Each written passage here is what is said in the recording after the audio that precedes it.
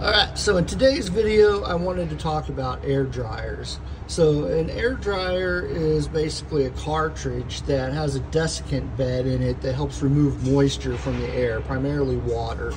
And back here you can see that you have a, a wire going to it for the sensor. You have air, two air lines here and one air line down here at the bottom.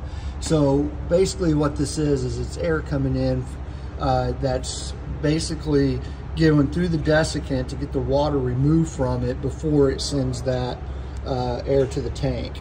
And then down at the bottom, there's a purge valve. So a lot of times, if you're not familiar with diesels and semis, when you hear that that the trucks do, uh, that happens when the compressor reaches cutout pressure. So when that happens, the governor sends an air signal through a pilot line right here to signal this guy that it's time to purge uh, this guy. So you'll hear that where it's purging out and it's getting rid of that moisture that it collected or at least some of it. Uh, these things are serviceable where you have to replace the cartridge every so often. Uh, the interval when you should replace these depends on the air usage of the truck. So some of them will be like one year and some of them may even go up to three years. So if you're not using a lot of uh, air, uh, like an over-the-road truck that doesn't do a whole lot of stop and go, you're probably going to be able to go longer without replacing it. So what we're going to do is we're going to come over here and look at one that's sitting on the shelf so you can get a better view of the bottom side of what these guys look like. So this is the bottom side of an air dryer and you can see the purge valve down here at the bottom and you can see that it has three bolts holding this cover on.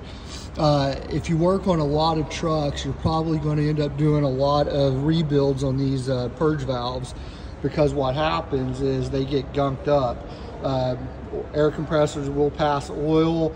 Some of that oil may find its way in here. Oil mixes with water, forms a sludge, gets this thing all nasty. Plus you also get road dirt and debris up in it sometimes.